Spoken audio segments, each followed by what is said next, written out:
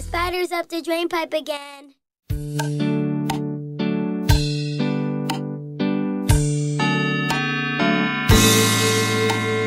grandfather clock was too tall